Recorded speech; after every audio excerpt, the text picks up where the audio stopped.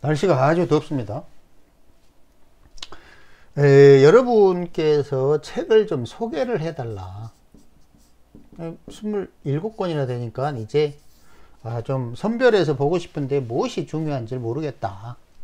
참고로 어, 저는 뭐 나름대로 쓸모없는 책은 아, 쓰지 않았다고 생각을 하는데 혹시나 뭐, 뭐 다르게 생각하시는 분들도 계실 거고 어찌됐든 음, 그 책의 내용을 소개를 하는 게 또 어떻게 글로 뭐 하기 그것도 애매하고 나름대로 카페 블로그에 다 오픈을 해놨는데 여기에서 간략하게 핵심을 설명을 해 볼게요. 그러면 어, 선택하는데 좀, 좀, 좀 도움이 되지 않을까. 자 가장 처음에 썼던 책이 시공간 보호 지장가인데 사실 이거는 어, 개정판이에요. 원래는 원래대로는 원래 제목은 지장간 이야기였죠.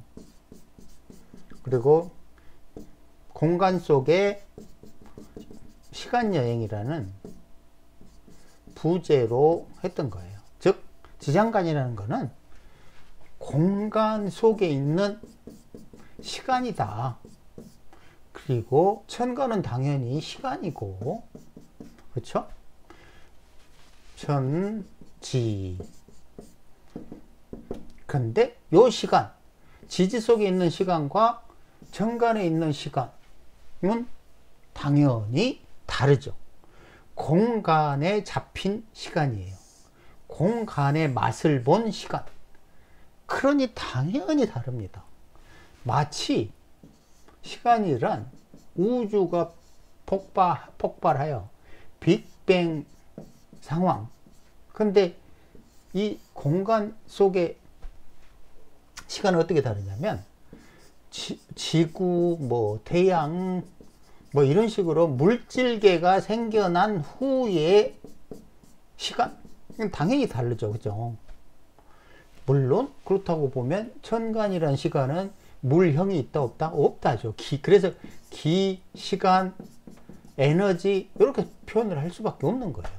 근데 공간이라는 거는 우리가 아 이거 육체야 요건 물질이야 이런 식으로 물형을 가진 사, 상태에서 그 것들을 좌지우지하는 것 이런 거를 공간 속에 있는 시간 그래서 이 이름이 지장간 이렇게 되는 거예요. 고로 그냥 천간의 시간과 지지의 지장간에 있는 시간은 전혀 다른 거다. 그거를 이해를 해야 되는 거고요. 근데 이게 왜 이놈의 지장간이 이렇게 중요하냐면 이제 나중에 아시, 알, 보면 아시겠지만 고 서, 고대에는 지장간을 격을 결정하는 데 있었어요. 특히 월지, 그죠? 근데 이 격이라는 것이 결국 투간, 투출 뭐 이런 거 많이 들어보셨을 거예요. 이런 용어를 가지고 어떻게 지지에 있는, 월지에 있는 그것이 천간으로 드러난 것 이걸 투간이니 투출이니 뭐 이런 식으로 활용을 했잖아요. 이게 무슨 말이게요? 이게 간단한 것 같아도 아주 오묘하고 복잡한 거예요. 그런데 그들은 주로 이 개념을 뭘로 이해를 했냐면 십신으로 십신 생극으로 이 투출 투관을 활용했어요. 근데 사실은 그게 아니라 시간이었죠. 어디에 있는 공간 속에 있는 그 공간 속에 있는 숨죽이고 어, 숨어 있던 그 기운이 대운 세운에서 짠 혹은 사주 원곡에서 짠 드러날 때 어떻게 바로 투관 투칠이라는 방식으로 그 존재를 확실하게 밖으로 드러냅니다. 이건 굉장히 중요한 의미잖아요. 이게 도대체 무슨 의미지? 왜 속에 감춰졌던 그 글자가 천간으로 꼭 드러나야 하지? 왜 그 사람들은 반드시 지장간이라는 것을 넣어야 했지? 그렇잖아요. 너무 신기하잖아요. 왜냐하면 사주팔자는 이렇게 있는데 천간, 지지 이렇게 두 가밖에 없어요. 얼마나 간단합니까? 그리고 연월일시 이 궁이 여덟 개의 궁이 이렇게 간단합니다. 그럼 말도 못하게 간단했을 텐데 갑자기 지지에다가 지장간이라는 것을 집어넣어 버려요. 이 도대체 왜 집어넣냐 이거죠.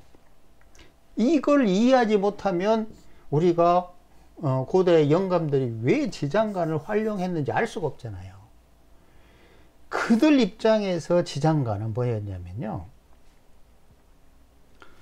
열두 달이 순환하는 과정에 그 공간이 12개의 공간이 물형을 바꾸는 물형을 변화시키는 방식을 표현하고 싶었던 거예요. 예로 뭐 간단하게 자월이라고 칩시다.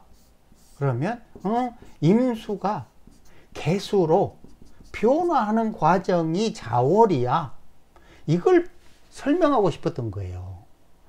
그럼 뭐 묘월이다. 음, 갑이라는 에너지가 을이라는 에너지로 변화하는 거야. 언제? 묘월에. 이미 개로 바뀌는 거야. 언제? 자월에. 뭐, 음, 4월이다 그러면 무경병. 이렇게 되죠. 그죠? 응? 4월에는 이 경금이 나타나서 이제 꽃을 피워야 돼. 그래서 병화로 육양 쫙 펼쳐 그거를 설명했던 거예요. 4월에는 자연에서는 이런 일들이 발생해. 자월에는 저런 일들이 발생해. 묘월에는 이런 일들이 발생해.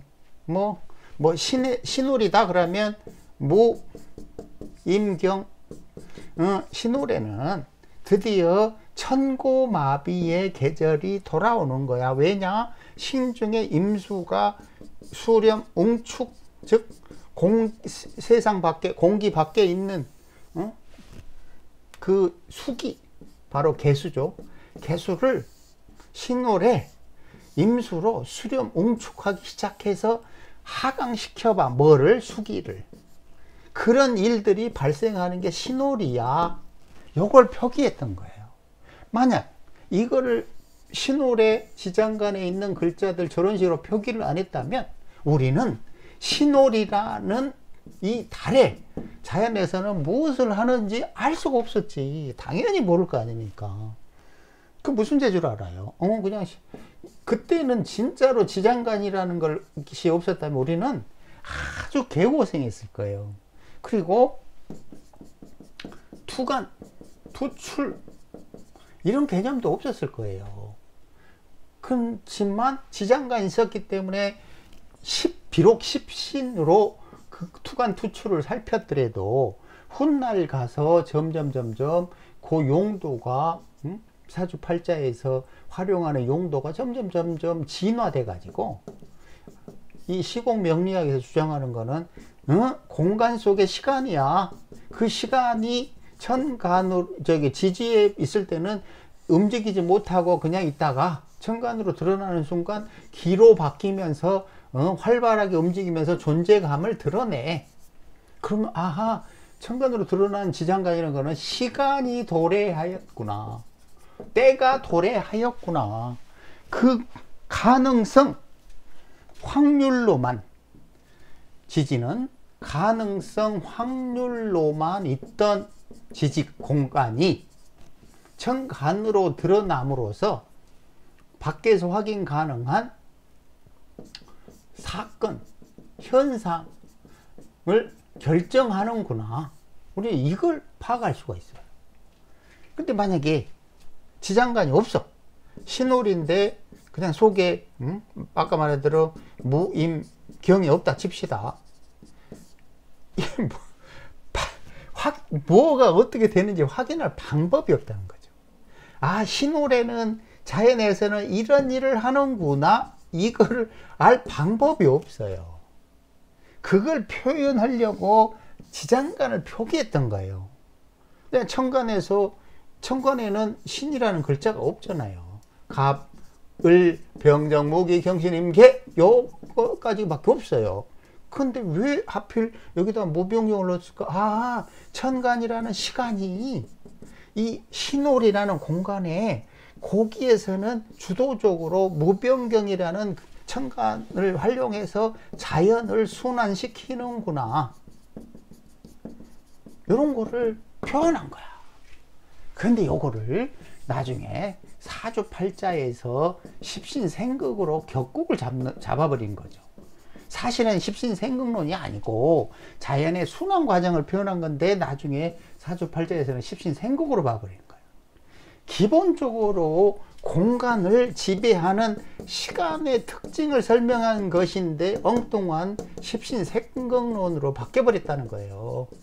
이렇게 보면 안 되는 그 십신생국 격곡이 이 수백 년 전에는 명리 쪽을 명리계를 지배를 했었죠. 그죠? 점점 점점 이제 현대 와서도 마찬가지였지만 이제는 시간 공간 개념으로 바뀔 때가 된다 이거예요. 왜냐하면 이 십신 생각은 2차원 오로지 생하고 극하고 하지만 시간 공간은 4차원으로 바뀌잖아요. 그 4차원으로 가는 과정을 이제 설명하려고 이 책을 쓴 거예요. 시공간 부호 지장간 해가지고 어, 원래 있던 책을 증보했죠. 증보 두 배 정도. 근데 만약에 우리가 지장간 표를 이해할 수만 있다면 외울 이유가 없어요. 뭐 간단하게 설명을 해보면 잊을래야 잊을 수가 없어요. 자월이다. 음, 임수가 개수로 바뀌는구나. 즉 봄을 향하여 발산 에너지가 폭발했구나. 빅뱅하였구나.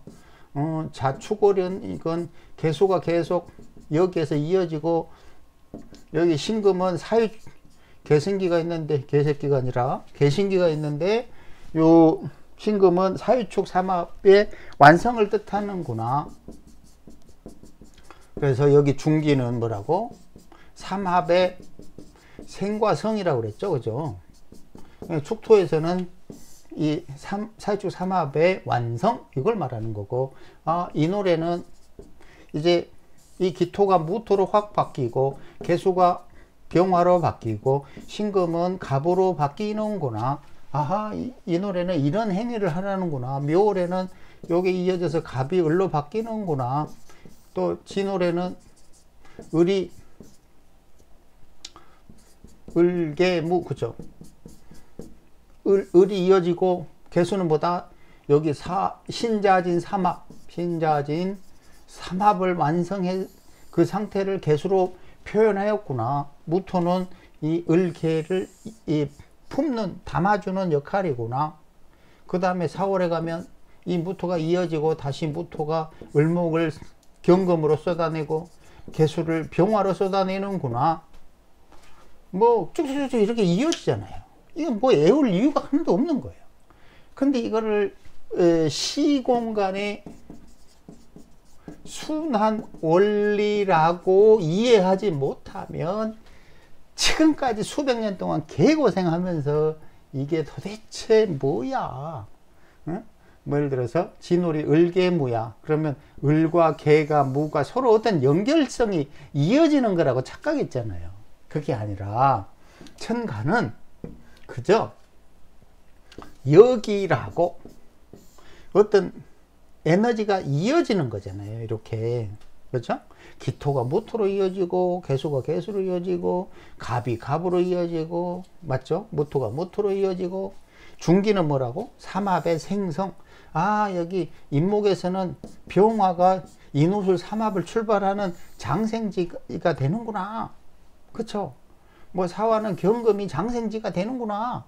이런 거 말하는 거예요. 그리고 요 신금은 아 이게 사회적 삼합을 끝냈음을 표기한 거야 표시한 거야 신자진의 진토는 어, 어, 신자진 삼합을 끝냈으니까 수기 개수가 들어가는 거야 뭐 이런 식이라는 거예요 그, 그 밑에는 이제 정기가 있죠 그러니까 이게, 이게 쭉쭉쭉쭉쭉쭉 끝없이 순환하는 이어 시간 시간과 공간이 이어지는 그런 개념이 지장가 아니에요. 근데 이걸 이해하는 게 왜 중요하다?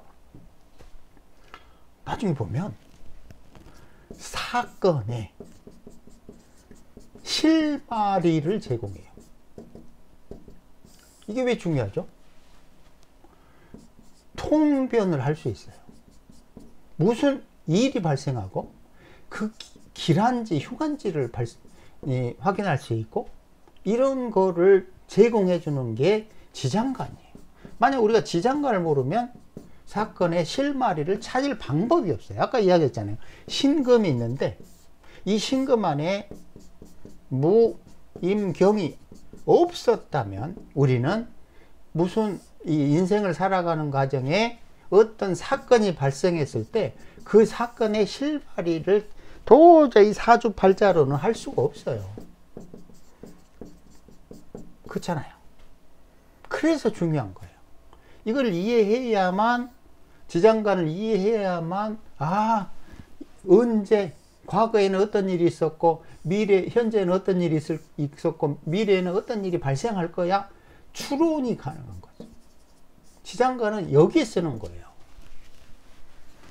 물론 지장간만 쓴다는 개념은 아니고 사주 팔자 오주 십자에 있는 뭐 궁이 뭐 천간 지지 다 형충파에 뭐 다 써야죠. 근데 지장간을 십신 경명 잡는 것으로만 오해하는 사람들이 있어가지고 지금 설명을 하는 거예요. 그런 게 아니다.